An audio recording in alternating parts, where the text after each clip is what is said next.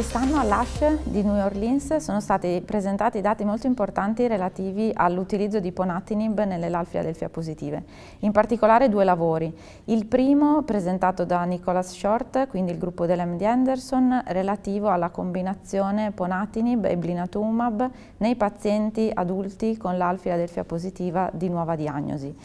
Sono stati riportati i dati relativi ai primi 40 pazienti trattati, eh, 12 dei quali erano già in remissione completa al momento dell'arruolamento, eh, prevalentemente eh, con un trascritto P190 e un, circa un quarto dei pazienti con trascritto P210.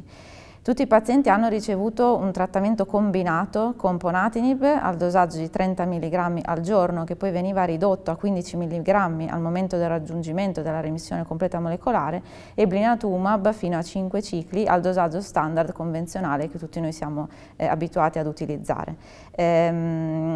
oltre a questa terapia mandatoria la profilassi del sistema nervoso centrale con 12 rachicentesi medicate che venivano eseguite nel corso dei vari cicli di trattamento.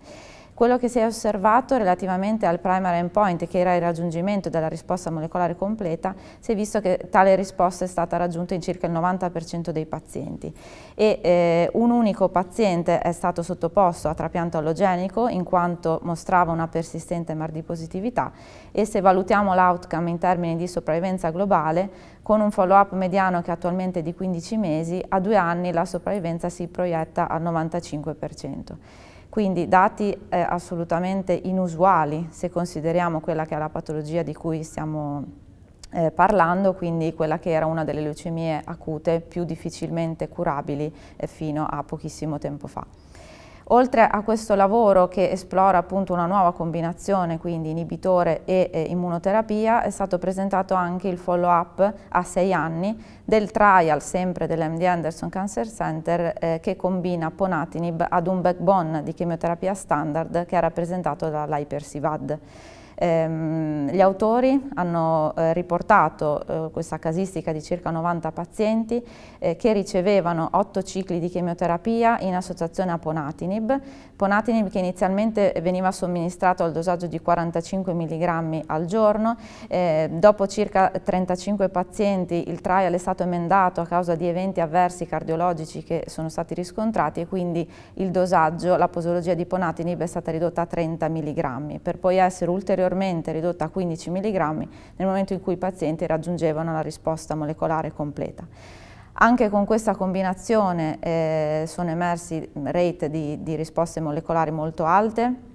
eh, con sopravvivenza proiettata a 5 anni del 75%. In termini di tossicità eh, ritengo sia opportuno comunque sottolineare come una percentuale non indifferente di pazienti purtroppo sia andata incontro a decesso in remissione completa, eh, in alcuni casi relata a tossicità eh, associate al farmaco. Eh, globalmente eventi avversi di grado superiore al terzo eh, cardiovascolari sia venosi che arteriosi si sono riscontrati nel eh, circa il 5-6% di tutti i pazienti. Quindi si può concludere eh, evidenziando quella che è l'efficacia di questo approccio eh, con un prezzo in termini di tossicità che sicuramente si è ridotto nel momento in cui la posologia di ponatinib eh, è stata modificata e con un follow-up a lungo termine anche in questo caso estremamente positivo considerando l'aggressività della patologia.